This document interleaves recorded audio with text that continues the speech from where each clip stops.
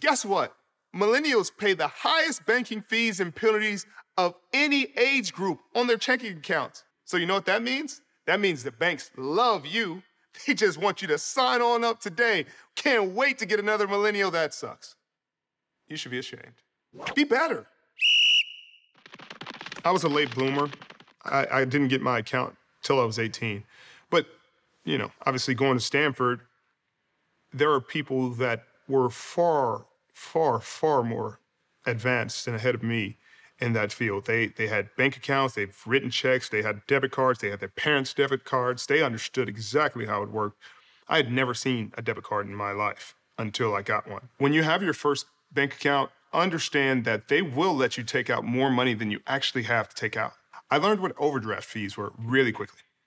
Really, really quickly. But once again, it's taboo to talk about money, so I never talked about it, especially because I didn't have very much and everybody else had quite a bit. So it's just like, hey, yeah, I'm fitting in, guys. I, I got a card too. Yours is yours seem to be black. I don't know what that means, but mine mine seems to be regular. But if I could go back and tell my 18 year old self anything, I'd tell him to start a savings account. Put money there. Let it sit. Let it gain interest. Understand that savings, savings is more important than checking. That's your rainy day fund. That's the money you put away. That's the money that that's really important. If you make a hundred bucks, throw 60 in the savings. 40, hey, you got it in your checking, spin it. But just know you put 60 away. And if you do that with every 100 bucks you got, you'll be in a pretty good spot. Just don't touch that savings. Don't touch it. Do not touch it. Get your money right. Keep it tight. This is how you manage your bank account.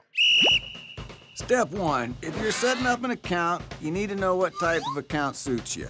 Checking. Going to give you easy access to your funds. Savings account may earn you more interest over time. You need to choose one. Look, now is anyone going to have access to this account? Step two now is bank choosing time.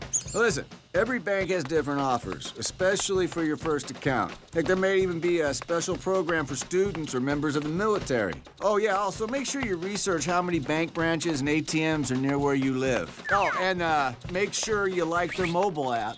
I know how important that is to young people. Step three. Now it's time to apply. Listen, these days most banks are going to allow you to open an account online or in person. Look, you're going to need your ID, an address, and between 25 to $100 for your first deposit. Listen now, once you got your ducks in a row, bank's going to set you up. Give you checks, a debit card, hopefully online account to help you manage your cash. Congratulations, you're growing. Do you want to go through life mediocre? No, you don't want your finances mediocre either. So let's get your bank account together today. Look at you. You're adulting now. Adult.